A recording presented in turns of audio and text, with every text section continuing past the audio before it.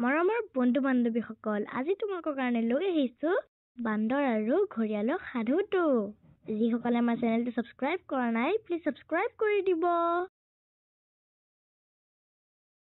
এখন গভীৰ অৰণ্যৰ সাজত আছিল এখন বিশাল নদী আৰু সেই নদীখনতেই ঘৰিয়াল আৰু ঘৰিয়ালৰ পত্নী বাস কৰিছিল।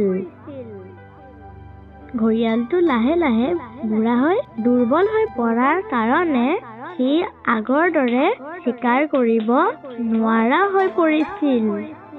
এদিন ঘৰিয়ালটো বহুত ভোক লাগিছিল। কিন্তু সি তাৰ কাৰণে বস্তু চিকাৰ কৰিব পৰা নাছিল। সি চিকাৰ কৰিবলৈ বহুত চেষ্টা কৰিছিল। অৱশেষত সি ভোকত নদীৰ পাৰত গছ এজোপাৰ ছাট জিৰণি লৈছিল। আৰু সেইজোপা আপেলৰ গছতো এটা বান্দৰ বহি আপেল খাই আছিল। আৰু তাকে দেখি ঘৰিয়ালটোৱে ক'লে বান্দৰ ভাই তুমিনো কি খাই আছা? তাৰে দুটামান মোকো দিব নোৱাৰানে এইবোৰ মই আপেল খাই আছিলো। লোৱা তুমিও খোৱা যদি। বান্দৰটোৱে ঘৰিয়ালটোক আপেল খাব দিলে। বা এয়াচোন সঁচাই সুস্বাদু। তোমাক বহুত বহুত ধন্যবাদ বন্ধু। আজিৰ পৰা তুমি মোৰ বন্ধু হ'বানে? নিশ্চয় আজিৰ পৰা আমি দুয়োটাই বন্ধু। তোমাৰ যেতিয়াই আপেল খাবলৈ মন যায় তুমি ইয়ালৈ আহিবা। মই এই গছজোপাতেই থাকোঁ। তাৰ পিছত প্ৰতিদিনে ঘৰিয়াল আহি গছজোপাৰ তলত ৰৈ আৰু বান্দৰে আহি তাক আপেল পাৰি দিয়ে। সিহঁতে দুটাই ভাল বন্ধু হৈ পৰিছিল। কেতিয়াবা যদি ঘৰিয়ালটো বান্দৰটোৰ লগত খেলে কেতিয়াবা আকৌ বান্দৰটোৱে ঘৰিয়ালটোৰ পিঠিত উঠি ফুৰিবলৈ ধৰে।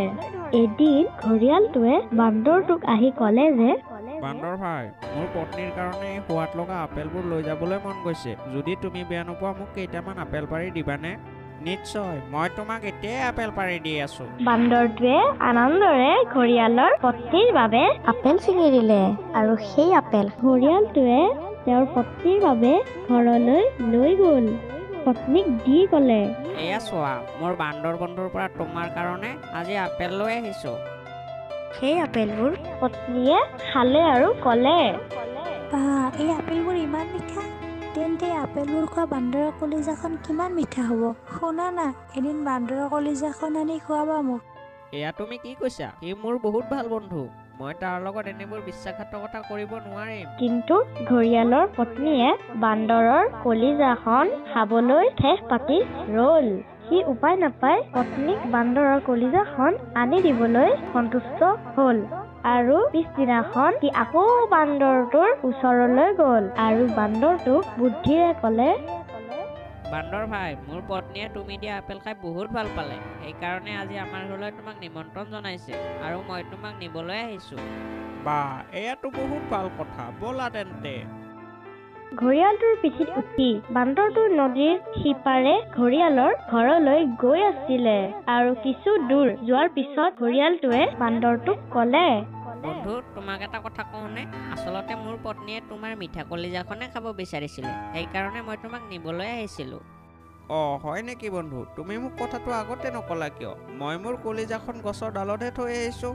অঁ হয় নেকি? ব'লা তেন্তে এতিয়া আকৌ মোক গছডাললৈ লৈ ব'লা। মই মোৰ কলিজাখন লৈ আহোঁ। বান্দৰ আৰু ঘৰিয়ালটো বান্দৰটোৰ কলিজাখন ল'বলৈ আকৌ গছৰ ডাললৈ উভতি আহিল। আৰু গছডাল পাই একেজাপে গছডালৰ ওপৰলৈ উঠি গৈ ক'লে ঘৰিয়াল বন্ধু তুমি বহুত মূৰ্খ। কোনোবাই জানো নিজৰ কলিজাখন গছৰ ডালত থৈ আহিব পাৰে। তোমাক মই মোৰ ভাল বন্ধু বুলি ভাবিছিলো কিন্তু তুমি মোৰ লগত বিশ্বাসঘাতকতা কৰিলা। তুমি ইয়ালৈ আৰু কেতিয়াও নাহিবা। এই বুলি বান্দৰটোৱে ঘৰিয়ালটোক ক'লে আৰু ঘৰিয়ালটো ঘৰলৈ উভতি আহিল। মৰমৰ বন্ধু বান্ধৱীসকল আমি এই সাধুটোৰ পৰাই বুজিলো যে যিমানে বিপদ নহওক কিয় ভয় নকৰি কামবোৰ বুদ্ধিৰে কৰিব লাগে।